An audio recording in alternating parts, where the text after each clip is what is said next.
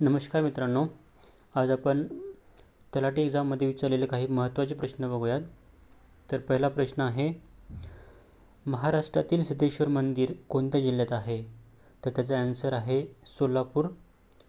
त्याच्यानंतरचा प्रश्न बघूयात अठराशे पंच्याऐंशीच्या आय एन सी म्हणजेच इंडियन नॅशनल काँग्रेस अधिवेशनाचे अध्यक्ष कोण होते? तर याचं उत्तर आहे उमेशचंद्र बॅनर्जी. याच्यानंतरचा प्रश्न बघूयात महाराष्ट्राची पर्यटन राजधानी कोणती? महाराष्ट्राची पर्यटन राजधानी राजधानी ही औरंगाबाद आहे. त्याच्यानंतरचा प्रश्न बघूयात. दोन हजार अठरा महाराष्ट्र केसरी विजेता महाराष्ट्र केसरी विजेता कोण आहे? तर बाल रफिक शेख हा दोन हजार अठरा महाराष्ट्र केसरी विजेता आहे.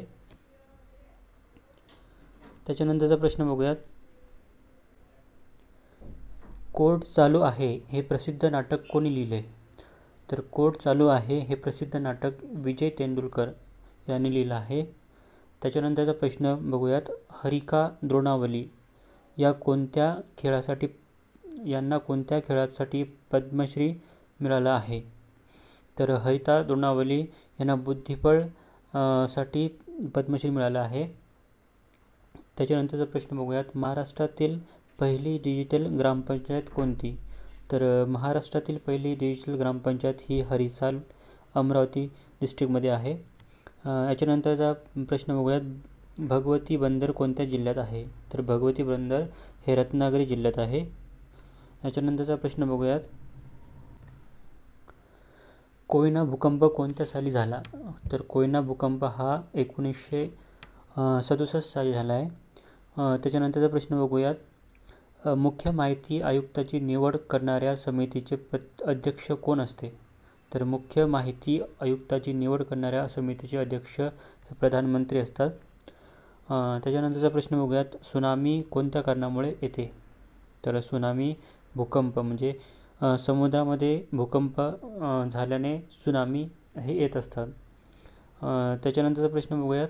कुलबा किल्ला महाराष्ट्रातील कोणत्या जिल्ह्यात आहे? तर कुलबा किल्ला हा रायगडमध्ये आहे. याच्यानंतरचा प्रश्न बघूयात. महा महास्वयम पोर्टल कोणत्या विभागामार्फत येते? तर महास्वयम हे पोर्टल कौशल्य विकास विभाग यामार्फत येते. त्याच्यानंतरचा प्रश्न बघूयात. आय एन एस कलवरी कोणत्या देशाच्या सहाय्याने भारतात तयार करण्यात आली आहे? तर आय एन एस कलवरी हे फ्रान्स आणि इंडिया दोघांनी मिळून तयार केलेली आहे.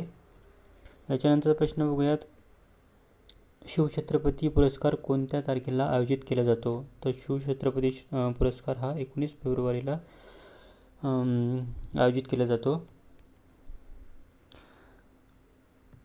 याच्यानंतरचा प्रश्न बघूयात. डेटा लीक प्रकरण कशाशी संबंधित आहे? तर डेटा लीक प्रकरण हे फेसबुकशी संबंधित आहे.